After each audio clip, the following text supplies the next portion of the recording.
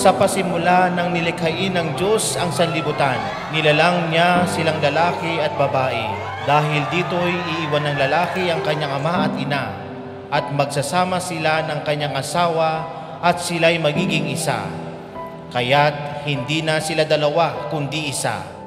Nagkakilala kami sa Letran. So, batchmate ko siya sa IT field. May nag-text sa akin na hello, iba-ibang numbers. Ah, isa siya dun sa nag-text. Meron akong ano nun eh, pinrepair na tula. Parang sino ang inspirasyon ng buhay mo? Sabi niya matagal na daw siya nanliligaw. And ayun yung parang last ano niya, last straw niya na okay, pag ano, wala pa rin nangyari dito. At titigil na daw siya. At the end, yun, nakuha ko naman yung matamis niyang oo sa pagiging boyfriend. Kapalagayan agad kami ng loob. Parang ano agad, ah, click agad kami.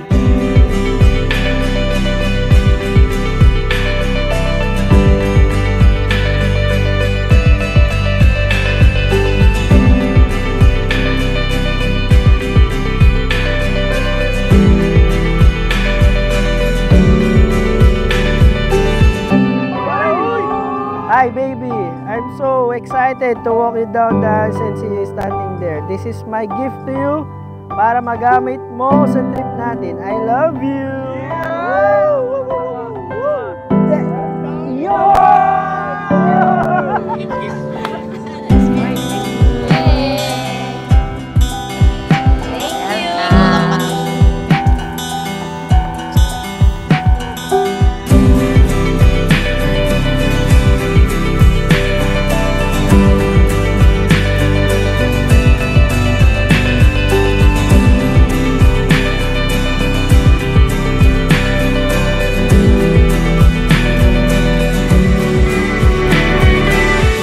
the way ng pagkakakilala ko sa kanya is uh, somehow parang tropa, ganyan, kaibigan. And then hindi ko na napapansin na na tumatagal na pala kami sa ganong sitwasyon na parang oh, parang tayo ba? Parang sobrang ano, sobrang gaan lang. Lagi niya ako kasi eh. So, he always makes me laugh. Para napapalight niya yung mood. So, ayun yung isang factor sa akin. Minsan magtitingin na lang kami, matatawa na kami.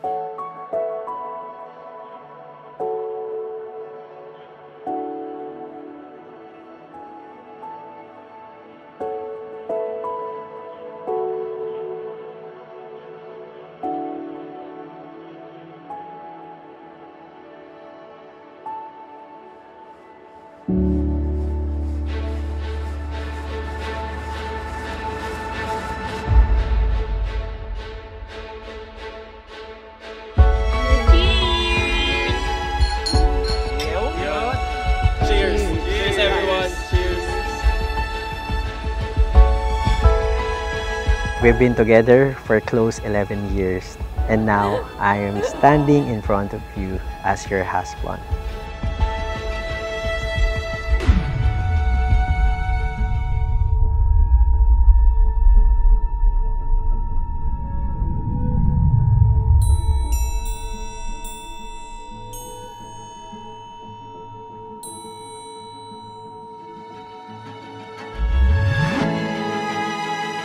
Isang inom kalimot ng lahat.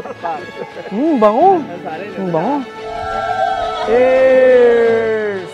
Oh, ang napatawa. Diba?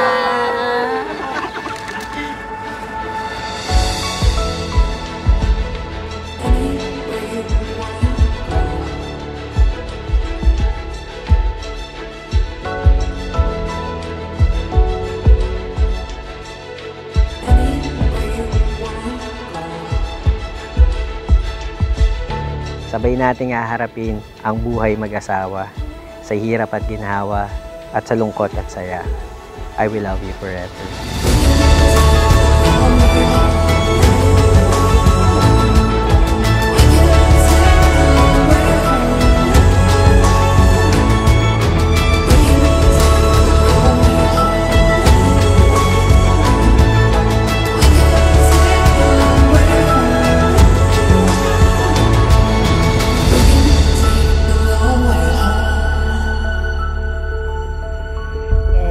I love you and Today, we start again as husband and wife. I vow to love you for all that you are and all that you have been.